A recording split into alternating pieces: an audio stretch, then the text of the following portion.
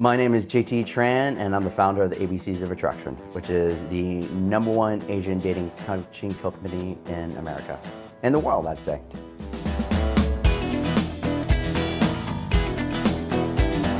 I sucked with women. I absolutely was horrible with women.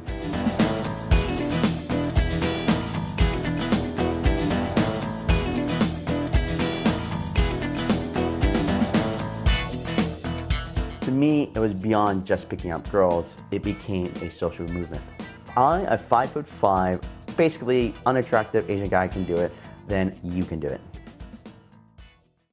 Moving out to Los Angeles, because I was originally an aerospace engineer, rocket science, right? Did like spacecraft, you know, Air Force satellites, and I thought I was the big man on campus. I did the thing that every Asian person is supposed to do. Get good grades, go to college, get a degree, get a good job. Um, I was making six figures straight out of the gate and had a Mercedes, lived on the beach. On paper, like all of our Asian tiger parents tell us, this is what you're supposed to do in order to be successful and get girls. And I was like, where are all the girls? Where are all these supposed girls that are supposed to fall on my lap? Because on, on paper, I was quote unquote the perfect boyfriend. But in retrospect, really all that was was me at the starting gate. That was like my, I was just a normal guy. It did not make me have an advantage of two other men. And I'm 5'5". I'm average looking. There's nothing physically very special about me. So back in the day, I was like all like, you know, arrogant. I was like, all right, I want to choose the hottest girls. And I get the results the next day. No one chose me. It's like, all right, maybe my standards are too high. I think we can all commiserate, like, you know, let's lower our standards. So I did that, picked half the girls. Got the results back the next day. No one chose me. At this point, I'm desperate. I think some guys can commiserate with that. It's like, all right, I'm gonna choose everybody, 100%, even if she's got like a snaggle tooth and a mole and a hunchback. I will choose every single person, no discrimination. I chose every single girl, and I got the results back, and no one chose me. Like, I'd done everything, but apparently, I just sucked. Some way, you know, my game or personality just, it was horrible. I didn't know why. I had committed the two cardinal sins of dating, which was one, being short, and two, being Asian. And then over the course of time, there was a limitation that I found in both the pickup artist community and the Asian American community. And the pickup artist community is like, oh, race isn't a problem, says every single white coach, right?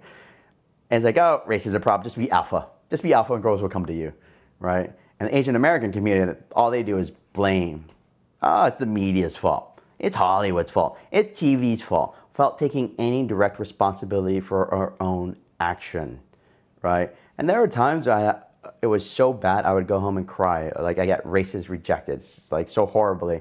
It was just miserable. I go home and cry. But the next day, I got back on the horse, dusted myself up, and kept trying. And as I just learned this and went on these adventures and writing a blog, just demand is like I had never really thought of making this as a company or a career or anything. But what it was is like the demand was there. I just started gaining like thousands and thousands of followers where it wasn't simply a job, it was a call to service because my fellow Asian brothers needed my help because they would tell me stories of being like getting harassed by racists, getting Asian girls telling them that they would never date a fellow Asian guy or like white girls saying they're not into Asian guys. So to me, it was beyond just picking up girls. It became a social movement. Eventually, the way the company and the methodology, the ABCs of attraction came about was a Chinese Canadian mother had been reading my blog and she called me up and asked me to help out her 17 year old student, her son, you know, his high school student, who had been harassed by neo Nazis. And I, you know, told her, ma'am, for three days and three nights, I'm going to be the big brother he never had. And that's how I got into this. And I came up with ABCs as a holistic way because I knew that I couldn't teach a 17 year old kid just pickup. I needed to give him a system that he could grow into uh, to be a full fledged man and just more than a pickup artist. You know, Asian men, like, we are not really seen as sexy or um, seen as uh, desirable in the West. For society overall, um, in America, we don't really have a lot of Asian role models, and I guess that would implement into the thoughts of women. It's more of a challenge to overcome. Um, they just never thought of us that way. For me, yeah, just this personal situation because English is not my first language, and I'm aware of different culture and like memories or something. So I have to fit myself into this culture, like from from hairstyle to the way I'm talking. As far as Asian guys, depending whether they're um, like from overseas or born and raised, you know, American, um, I guess they all have in common that they lack confidence and there's something in their mind that's holding them back.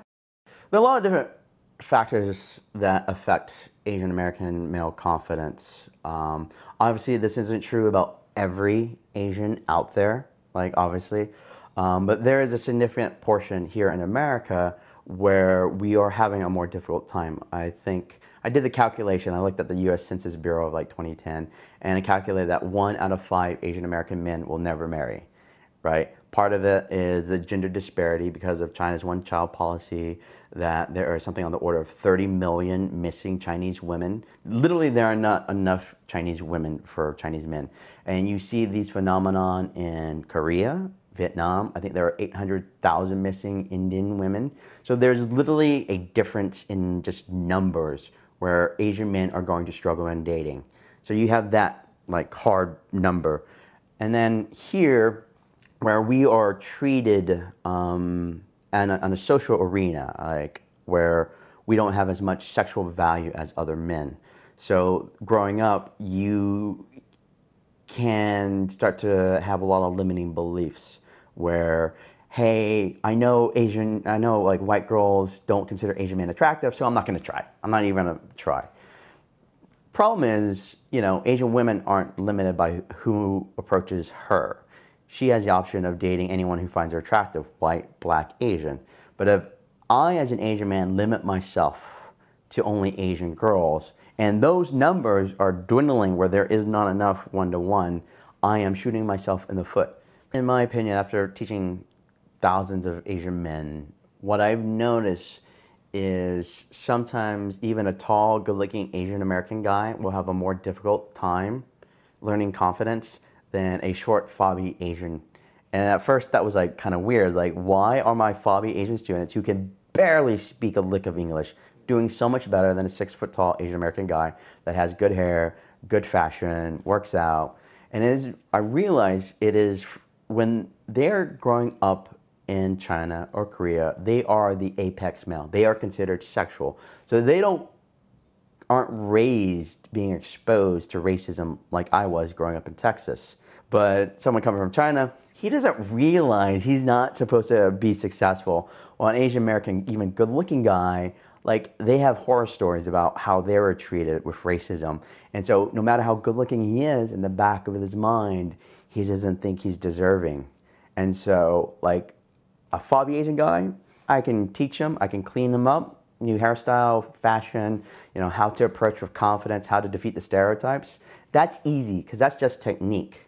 But say an Asian American guy with very deep limiting beliefs that affect his confidence, that goes into a larger deconstruction of societal conditioning. That's more of a, a mental game where we have to, it's almost a form of therapy where we deconstruct those beliefs so that he can rebuild himself up and take the action where his belief, his negative belief set doesn't hold him back.